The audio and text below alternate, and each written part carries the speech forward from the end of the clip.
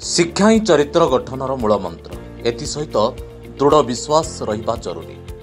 ସୂର୍ଯ୍ୟ ଯେପରି ପୃଥିବୀର ଅନ୍ଧକାରକୁ ଦୂର କରନ୍ତି ଠିକ୍ ସେହିପରି ଗୁରୁକୁଳ ଓ ତାର ଆଦର୍ଶ ଶିକ୍ଷକମାନେ ଉଚ୍ଚକୋଟୀର ଶିକ୍ଷା ମାଧ୍ୟମରେ ଛାତ୍ରଛାତ୍ରୀଙ୍କ ଭବିଷ୍ୟତକୁ ଉଜ୍ଜଳ କରିଥାନ୍ତି।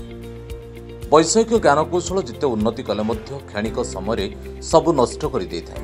ସାହିତ୍ୟ ଓ ସଂସ୍କୃତି ଉପରେ ସବୁବେଳେ ନଜର ରଖିବା ଦରକାର। ଭାରତ ବର୍ଷରେ ସବୁ ଅଛି। ତାହାକୁ ବ୍ୟବହାର କରିବା ଦରକାର ବୋଲି ଯାଜପୁର ଜିଲ୍ଲା ଧର୍ମଶାଳା ବ୍ଲକର ବିଭିନ୍ନ କାର୍ଯ୍ୟକ୍ରମରେ ମୁଖ୍ୟ ଅତିଥି ଭାବେ ଯୋଗଦେଇ ଓଡ଼ିଶାର ମହାମହିମ ରାଜ୍ୟପାଳ ପ୍ରଫେସର ଗଣେଶୀଲାଲ ତାଙ୍କ ବକ୍ତବ୍ୟ ମାଧ୍ୟମରେ ମତ ପ୍ରକାଶ କରିଥିଲେ।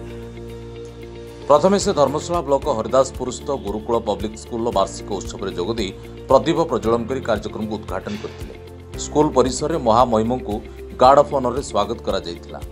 সম্মানিত অতিথি ভাবে পণ্ডিত সংগ্রাম আচার্য বহু বয়োজ্যেষ্ঠ ব্যক্তি বিশেষ যোগ দিয়ে রাজ্যপাল শ্রীযুক্ত গণেশীলাল স্কুল কৃতি প্রতিযোগী মানুষ পুরস্কৃত করে পরে পরে ছাত্রছাত্রী মানক পক্ষ সাংস্কৃতিক কার্যক্রম পরিবেশন করা ধর্মশালার চিন্ময় নায়ক রিপোর্ট যাজপুর নিউজ